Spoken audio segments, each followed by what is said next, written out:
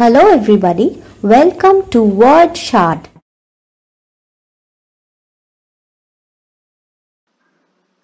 Today we are going to start with a very simple poem television written by Roald Dahl. Okay, so television, the poem television is for for the ICSE students for classes 9 and class 10 and uh, we will start the poem. Let's read the first lines. As we go on, we will see the figure of speech, the easy explanations, the meanings of the words as you have always seen that I write the meanings in red. So if you find the word difficult, then you can write down the meaning of the word in your books. Obviously, write it with a pencil. Okay. The most important thing we've, we've means it is written in short form. We have learned what is the most important thing that we have learned? That is, so far as children are concerned, is never, never, never let them near your television set. So, what is this poem trying to say? This poem says that the most important thing that we have learned is that whenever children are concerned, that means for the sake of children, for the sake of the little ones, we need to be very careful that we do not install the television set or at least do not allow the children to go and sit in front of that television set. What is that television set? It is also called the idiotic thing. We call it idiot box, isn't it? So the, it is an idiotic thing. Why is it called an idiotic thing? Because it just shows you certain things and you just gulp it. You go on eating it. You don't think, you don't imagine, your fantasies are dead. You just go on looking at the screen and you just take whatever is given to you okay? So it is better that we don't install the idiotic thing in our house. We just don't put a put a television set in our house because if there is a television set in our house we will want to go and sit in front of the set and watch a little bit of television isn't it? But there are a huge number of shows in the television that is shown through the television media where we see certain things which are very baseless, not at all important, and stupid. Okay, so that is why, according to the poet, television is a very important, very the most important thing that we have to remove from our house. If it is there in our house, we need to keep our children away from the television set. Now, I give certain reasons why we should do that. See, in almost every house we have been, that means in whichever house we have visited, we have watched them gaping at the screen. This word gaping is a difficult word. It might be a difficult word for you, but I haven't written the meaning because you can see the picture. See, when you look at something with your eyes wide open, just like this, then it is called gaping. So how are the children looking at the television set? They are open eyed okay? They look at the television set open eyed because maybe a favorite show is going on maybe the cartoon network is on maybe certain things which they like certain movies those are on and they are going on gulping it. They're going on eating it like anything with their with their eyes wide open okay? Now how do they watch they loll and slop and lounge about. That means they sit just like this frog. The children sit on the sofa set, on the bed, on the bed or different places or on the floor. They will sit without any proper posture. Do you think the, the way the frog is sitting is a right posture? Is the right way you should sit? No. You will have back aches. You know, you'll have pain in your back, in your backbone. It will pain if you sit like this for long so it is a bad posture.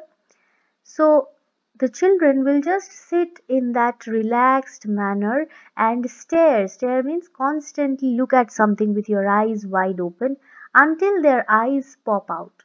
They are so interested to watch that show in the TV what will they do? They will open their eyes wide to watch. And it will seem that their eyeballs the circular ones those eyeballs will fall off from their eye sockets and it will be on the floor because it is a it is a kind of exaggeration. When the poet is trying to point out that the way they look at the television set they eat stupid things that is shown in the tv it is it seems that their eyes will pop out. They are so interested in watching all that trash. Okay. Last week in someone's place we saw a dozen eyeballs on the floor. Now this part is a figure of speech. What kind of figure of speech? You can try to think. See, a figure of speech where you exaggerate something, where you try to point out something in a great way, which is often an exaggeration. For example, if I say, I love you for thousand years. For thousand years, I will not be alive to love you, but still I am saying this. Why does I do I say it? I say it to show that I will love you a lot and for all those years that I live. I exaggerate to show how much I will love you. In the same way, the poet says that when he visited one person's house, there were dozen eyeballs on the floor. That means dozen means 12. How many eyeballs a person has? Two eyeballs. That means there are six children who were sitting on there were six children who were sitting on the floor and they were looking at the TV set with open eyes, okay, it seemed that their eyes eyeballs will fall off from the eye socket. Okay. That means they were hypnotized. They were looking at the TV like anything. They could not even move their eyeballs. They were so interested in the show. They sit and stare and stare and sit until they're hypnotized. I already used the word hypnotized. Hypnotized means when you're attracted to something a great deal. When your mother calls and also you cannot move from uh, from in front of the television set. You will you will say no, I cannot go mother because I am very busy watching the show now. You cannot even move your eyeballs this way that way because your eyes are fixed to the television set.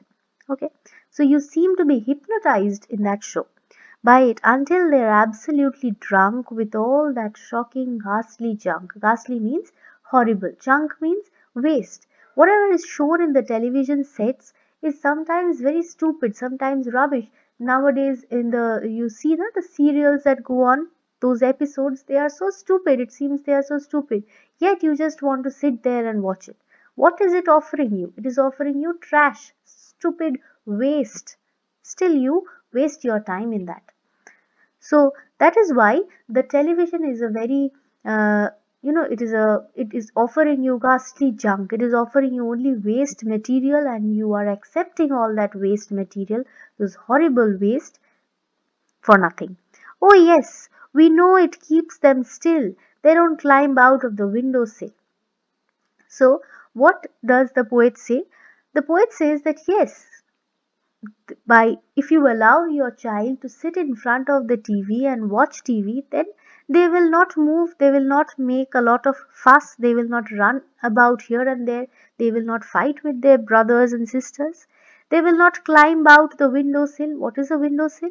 See, when you go near a window, you will see that there is a front part. In front of the window, there is a part where you can keep maybe uh, mm, a pot or you can keep your uh, glass of uh, when you, you can keep your cup of tea or something or you can keep a glass on that place okay so this part is the windowsill now previously they had open windows and people could just children could just jump out of the window okay so naughty children used to do that now, if you place a television set in the house, then children will no more be that naughty. They will just sit in front of the TV and will not move here and there or jump out of the windowsill.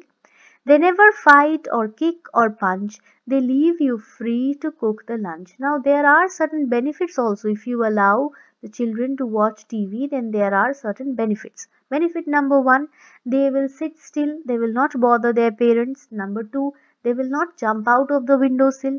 Number three, they never fight or kick or punch, so they will not fight with their brothers and sisters. This is point number three. Point number four, they will leave you free to cook the lunch. Now, parents have a number of works to do, isn't it? They will have to cook the lunch, they have to wash the dishes in the sink. So, they uh, the chil- if the children sits si- sit silently, if the children don't bother their parents, then the parent will also be able to cook and wash the dishes. So, these are also the benefits of allowing the child to watch TV.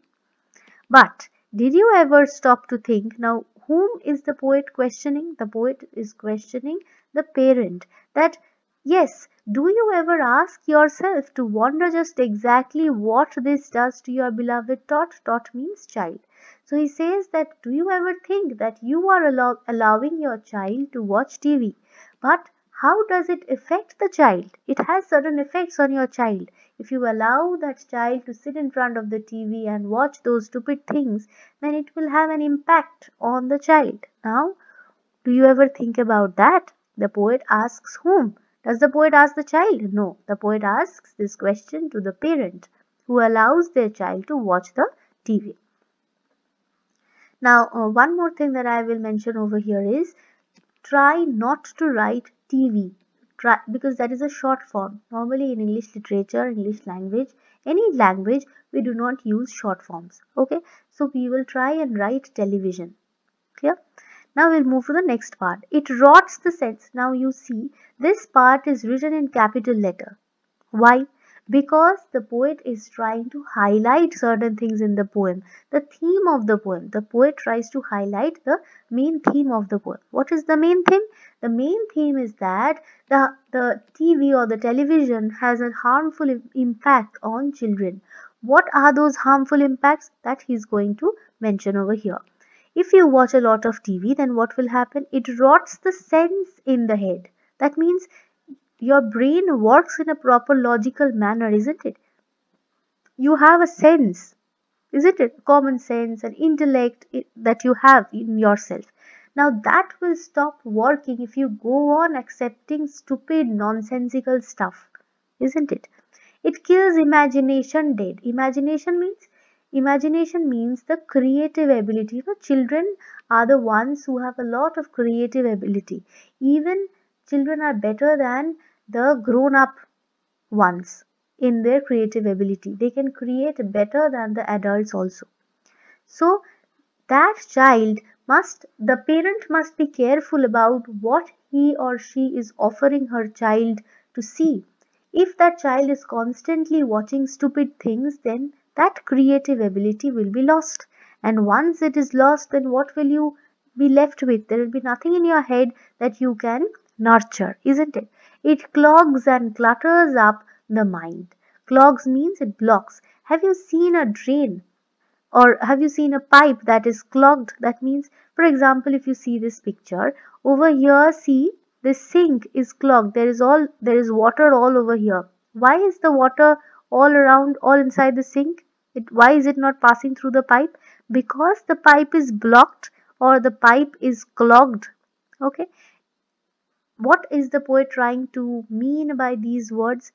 He tries to point out that if you constantly watch all that stupid thing in the TV, then what will happen? Slowly, slowly, your imagination, your cre creative ability will be blocked. You will waste everything because your mind will be blocked with stupid things, just like this pipe is blocked with rubbish. Clear? Next. It makes a child so dull and blind he can no longer understand a fantasy, a fairyland. So if you constantly offer those stupid things to the child, then slowly, slowly the child's power to fantasize, to imagine certain things, all those fairyland, all those fantasy, the imaginative ability, the creative ability, everything will be lost. The child will become what? Child will become dull and blind. This does not mean that you will not be able to see with your eyes. This means that you will not be, your brain will not be able to work properly. If your brain has stopped working properly, then even if you see something, your brain will not be able to understand it or imagine it in a better way. Okay. Next. And see if you constantly look into the TV, then you will miss a lot of things. For example, if you go to Darjeeling and you go on watching TV because your cartoon channel is on and you can see certain things over there or you can watch your favorite show over there, what are you missing? You're missing the beautiful uh, scenery outside, isn't it? So many beautiful, pretty birds, the mountains, the sun rising over the mountains, the hills, the uh, the greenery around. You will miss everything. and your imagination your creative ability all those will rot in your head will be wasted in your head okay next. So this part is an important uh, part that uh, questions may come from here and if if a question from television comes then this part is important. It will obviously be there. So it's better if you write it down somewhere in your book. See what i have written television has an impact sorry ha has a negative impact on children.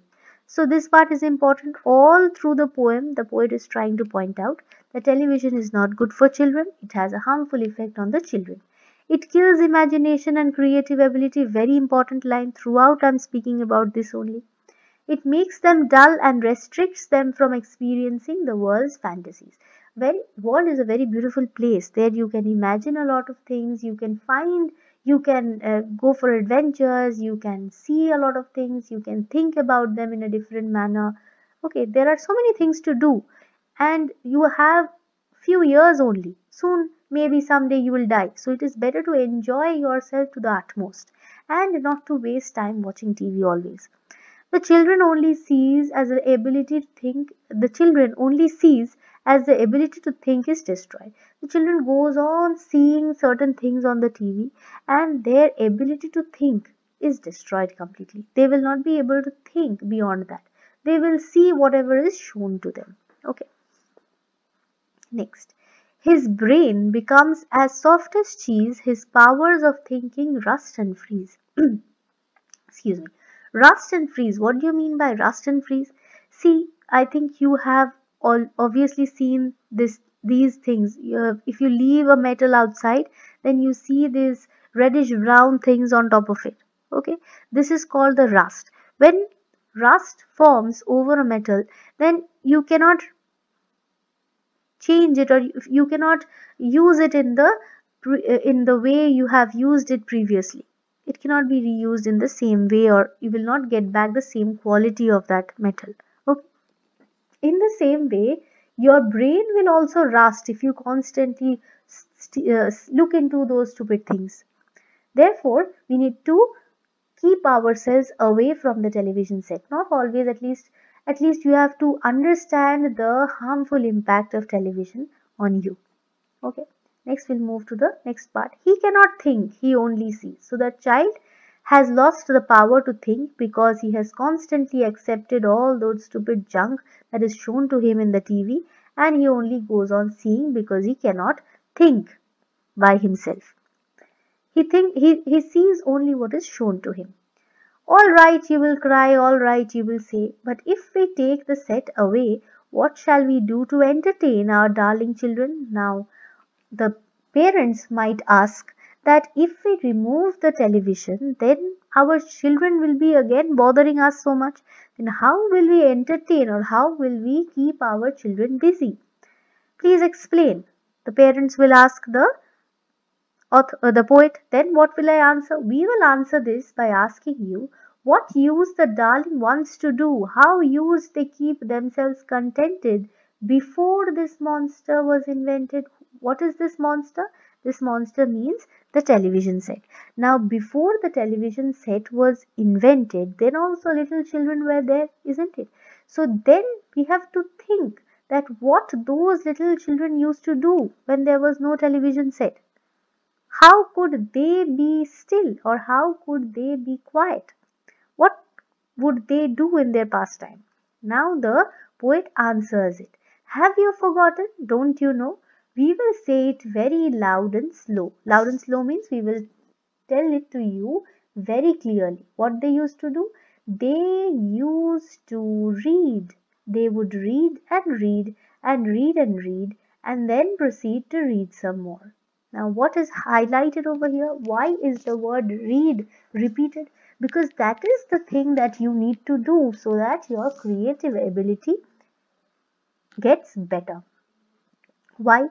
Because when you are reading something, you can interpret it in many ways. You can imagine it in whichever way possible, whichever way you want. There your brain is working. But if I am showing you something, if I am showing you, see, this is what happens, then you will not imagine. Isn't it? Your imagination, your capability to imagination is stopped. Capability to imagine is stopped, is cut short. So you need to read. When you are reading a book by of Harry Potter and when you are watching the movie, same the movie of Harry Potter, they are two separate experiences. It is a complete just try to do this, try to read the book of Harry Potter. You will see that your mind is capable of imagining far better than what you are shown in the television. Okay you can see you will be completely in that mysterious magical world where harry potter was when you are reading the book. And it is a completely separate kind of experience that you will have. But when you are watching the tv when you are watching the same harry potter show in the tv then you are shown. Then everything is in front of you then there is no need to, imagine only. Then your brain does not even need to work. You're shown and you're just taking it. You're not thinking about it. Okay? But reading a book you think a lot. Therefore reading is obviously better than watching a show in the tv okay? Now this i will continue the rest of the part in the next uh, class. But before that before we end the class there are figures of speech also from here. So we will do that see figure of speech is very very easy over here. First one is rhyme scheme. Rhyme scheme means when you are when there is a rhyme pattern when the lines rhyme with one another. So the each line rhymes with the next one here. See there is one example. How used they keep themselves contented before this monster was invented? So contented rhymes with invented. Next we move to the next two lines. Have you forgotten? Don't you know? So no we will say it very loud and slow so contented comes with invented no rhymes with slow so rhyme scheme you have understood. Next we'll move to the second one which is repetition. This the, throughout the poem I am telling you that there are certain lines, certain words, certain phrases which is repeated throughout the poem. Why? To emphasize the importance in it. So the word that you have to mention is emphasize. The poet tries to emphasize certain things. It is purposeful, there is a purpose behind it and brings out the main theme of the poem. The main theme is what? That there is a huge amount of negative impact if you watch TV and that is what the poet tries or uh, tries to make us feel and understand. That is why he emphasizes by repeating certain words. For example, is never, never, never three times he has repeated. What? Them near your television set. He tries to highlight that no, it is very bad if you put a television set for your children to watch. Then your children's creative ability will be lost, which no parent will want, isn't it?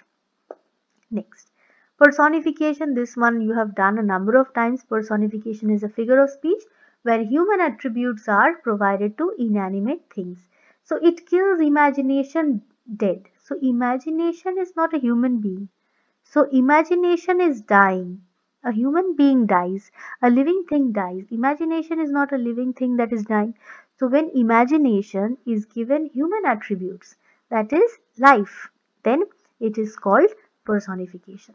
Last one, I have already talked about it, hyperbole. Hyperbole is something where you are exaggerating to emphasize something. You exaggerate to emphasize certain things. Example, last week in someone's place, this is a very important question, it often comes in your exam. Last week in someone's place, we saw a dozen eyeballs on the floor. So he tries to point out that there were six children who were sitting on the floor watching TV and they were watching it so um, you know they were they were staring at the television set as if their eyeballs would fall out from the eye socket okay so he tries to exaggerate it that the eyeballs were almost on the floor okay? To show the immense interest of the children in watching the TV in just staring at the TV set. So this part is what we will do this is what we are going to do for today and in the next class we'll do the rest of it. I hope this part is uh, you know you have been able to understand whatever i have done in this part. It's a very simple poem i know you can understand even while reading it try to read and understand on your own. If you require the help then my video is there. You can follow the lines. You can write down the meanings and help yourself. And also most importantly the figure of speeches are, uh, the figures of speech are important because questions may come from here. Okay? Thank you. I hope you've liked my video. If you've liked it please comment subscribe and share with your friends. Bye bye